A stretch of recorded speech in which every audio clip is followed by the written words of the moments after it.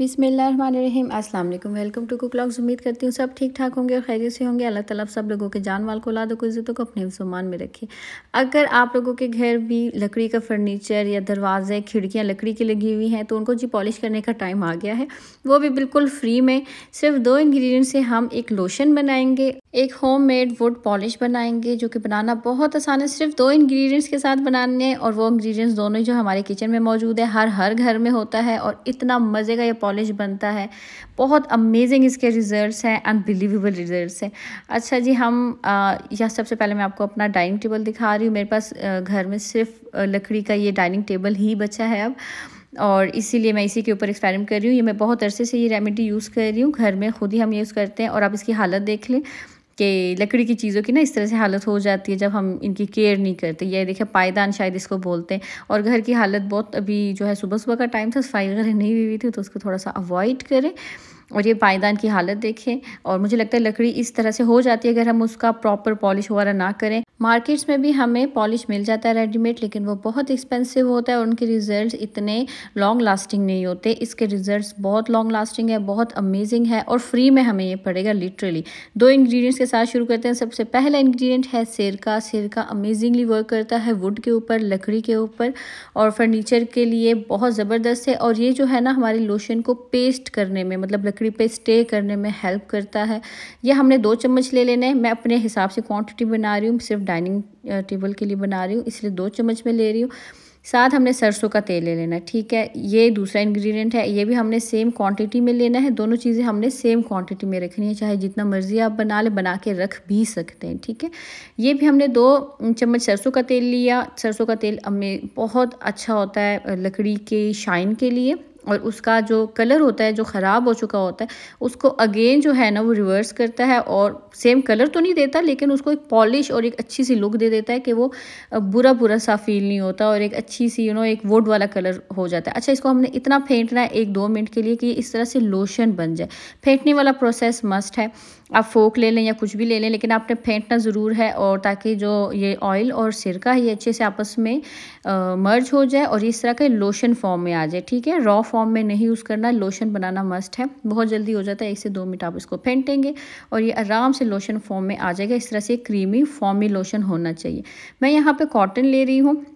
Cotton का एक piece आप कोई भी माइक्रोफाइबर कपड़ा ले लें या कोई भी आपके पास जो डस्टिंग का आपने कपड़ा रखा होता हो, जैसे हमारे यहाँ बुनियाने भी यूज़ होती हैं, वो भी ठीक है।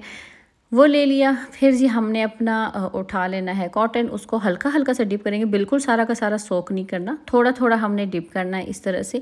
और हमने अपने एरियाज़ जो भी अफेक्टेड एरियाज़ होते हैं या जो सारा का सारा ज़ाहिर से बातें पॉलिश करना होता है, उन पे इस तरह से फेरना है। अब आप देखिए कि जैसे जैसे मैं ये कॉटन फेरूँगी वैसे वैसे शाइन नज़र आती जाएगी लकड़ी के अंदर से, ठीक है? ये एक मैजिकल आप रेमिडीज़ को कह लें, बहुत अमेजिंग रेमिडी है ये।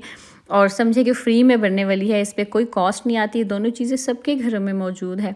और मैं आहिस्ता आहिस्ता करके दिखा रही हूँ, मुझे थोड़ी सी दुशारी हो रही थी यहाँ पे, एक हाथ से मोबाइल पकड़ा हुआ था और एक से मैं जो है काम कर रही थी। मुझे आदत नहीं है इस तरह से काम करने की, लेकिन जो है मैं कोशिश कर रही थी कि आप लोगों को अच्छी फुटेज और अच्छी वीडियो जो है मैं बना के दे सकूँ। तो इसलिए थोड़ा सा हिलजुल रहा होगा कैमरा, बट थोड़ा सा आप उसके साथ गुजारा करें और आप देखेंगे जैसे जैसे फेर रही हूँ मैं अच्छा मतलब वो कलर और सारा कुछ बैलेंस हो रहा है। जहाँ पे ज़्यादा मसला है, जिस तरह से पायदान बहुत ख़राब थे, वहाँ पर थोड़ी देर के लिए आपने स्टे रखना है इसको, ताकि ये जो मिक्सचर है हमारा लोशन ये कोनों खुदरों तक अच्छे से जो है ना डिस्ट्रीब्यूट हो जाए। और आप ये वाला देखिए, इसका तो बहुत ही बुरा हाल है, लेकिन आप इसके रिज़ल्ट देखिएगा कि एकदम से जो है ना ये ट्रांसफॉर्म हो जाएगा। अच्छा जी, हमने लोशन लिया, थोड़ा सा रखा स्टे दिया, और हल्के से हाथ के साथ ना हमने ज़्यादा प्रेस नहीं करना इसको घुमा देना है, और एकदम से शाइन आ जाती है इसमें। अमेजिंगली ये वर्क करता है। आप इसको घर में बनाएँ, बल्कि ढेर सारा बना के रख लें किसी जार में। कुछ नहीं होता और हफ़्ते में एक दफ़ा, नहीं तो महीने में तो एक दफ़ा ज़रूर किया करें। मेरी तो लापरवाही नहीं दिखानी आपने। अब आप इस पायदान को देखें कि ये मैंने हल्का सा सिर्फ़ वन स्वाइप दिया है और उसके साथ इतना अच्छा आ गया। आप इसको दो तीन कोट भी कर सकते हैं। एक दफ़ा कोट करके स्टे दे दें पंद्रह बीस मिनट ताकि ये ड्राई हो जाए। अगेन कोट कर ले। मैंने सिंगल एक कोट कर लिया था। बहुत अच्छा रिज़ल्ट आया था और ये मेरा जो डाइनिंग है, ये काफ़ी पुराना है, बल्कि मेरी मदर इन लॉ का है, उन्होंने मुझे दिया है। और ये मेरे पास है। उनके पास भी बड़े अरसे से ठीक है? तो अब आप देखें कि उसको मैंने बिल्कुल नया कर लिया। आप भी अपने पुराने से पुराने फर्नीचर को नया कर सकते हैं, सिंपल इन लोशन के साथ। अब आप जैसे कि देखें जहाँ जहाँ जो है मैं अपना लोशन और अपना कॉटन जो है फेर रही हूँ वहाँ वहाँ अच्छी सी शाइन, ग्लॉसी, शाइनी हमारा जो है वो लकड़ी हो रही है। अब आप देखें कि इतना ये ज़बरदस्त हमारा हो गया, तैयार। और मुझे 10 मिनट लगे होंगे तकरीबन सबको, कोनों खुदरों में आराम से अच्छे से पहुँच डिस्ट्रीब्यूट करने में, लगाने में। और आप पायदान भी देख लें, उनमें अच्छी खासी शाइन आ गई है। कलर भी आप देखा, लेकिन मैंने इस पर कोई पेंट नहीं किया। सिंपल हमने अपना पॉलिश लगाया होम मेड लेकिन उसका वो जो एक उड़ा उड़ा कलर था ना, वो ब्राउन कलर में जो है खुद बहुत कन्वर्ट हो गया। चेयर्स देख लें आप कि ये ग्लॉसी हो गई नहीं तो उनका कलर बहुत बुरी तरह से उड़ा हुआ था।